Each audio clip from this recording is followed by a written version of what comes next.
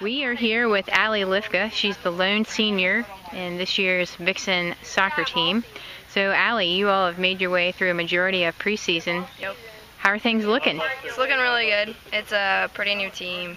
We only have two upperclassmen, but I'm really looking forward to it. There's a lot of energy, and we're really pulling it together. Yeah. Cool. And this Friday, you all travel down to Raleigh for a match with William Peace. Yep.